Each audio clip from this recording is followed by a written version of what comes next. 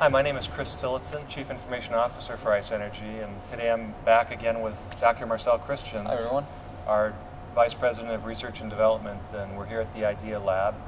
And the last time we talked, uh, you were just breaking ground on the prototype development effort.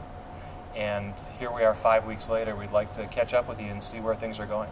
Sure, we've had a pretty busy five weeks here, um, working really hard on the Ice Bear 10. We've been working with our partners, Danfoss, um, in procuring a lot of the parts that we need. And uh, as they've been coming in, we've also been doing a lot of development testing here on some of our other test platforms. Right. I understand that some of the testing that you're doing has to do with um, taking an existing ice bear and using it to generate heat, something that we haven't done in the past. That's right. Um, since the components are pretty much the same, uh, we decided to take one of our spare development ice bears and run it in reverse. So instead of cooling the space, you know, we just ran this, the system backwards and we're providing heating. And the reason why we wanted to do that was we, that we wanted to get the design of the two circuits that we use right, so that when the Bear 10 components came in, we'd be able to hit the ground running and um, get a prototype up and running in no time. So now that we've got these different products, I, maybe we can let everybody understand what, what the purpose of each of them are. We've got the IB30, we've got the IB20 and the IB10. Maybe you can just help us understand at a high level what the distinctions are between those in terms of storage and capabilities. Yeah, absolutely. So the Ice Bear 30 is a 30 ton hour thermal energy storage system that works with a packaged unit. And um, the Iceberg Bear 20, again, the name lets you know what it does. It stores 20 ton hours and uh, it replaces 100% of your home's cooling needs.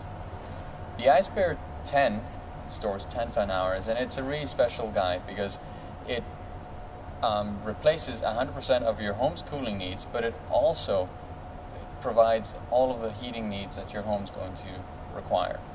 Um, the other major uh, design consideration for the Ice Bear 10 has has been that we've really focused on trying to make sure that it fits in the tightest space possible, so that it'll fit in the widest range in, um, of homes actually out there.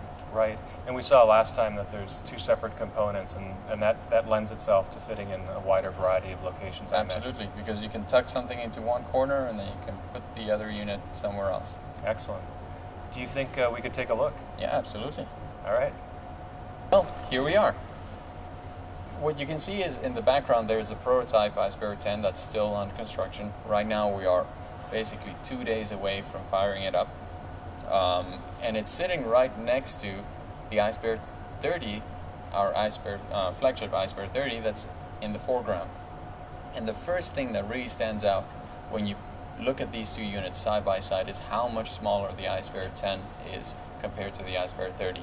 Uh, the unit itself is about 30% uh, of the size of, of, the same footprint of as of the Bear 30. Ar around this side, you can uh, really see clearly all of the components that were um, that we've procured from Danfoss and that have really helped us to size uh, correctly for this specific application.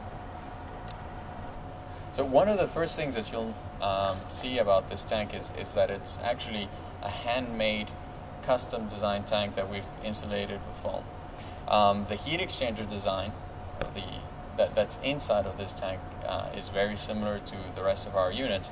For rapid prototyping purposes, we procured a custom uh, handmade tank to really get this unit uh, up and running as quickly as possible. And of course, our final units are going to have um, a rotomolded double wall insulated tank, um, much like the rest of uh, the Ice Bear uh, family.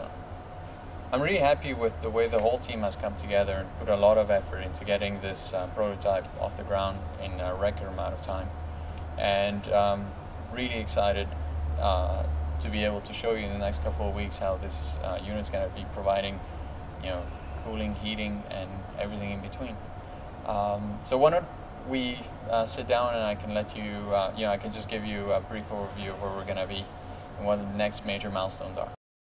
First big milestone is this weekend we're going to turn it on, we're going to make ice, we're going to deliver cooling from ice, and we're going to deliver heating using the compressor. So this is this weekend. We're it's the last weekend of October, just to place everyone.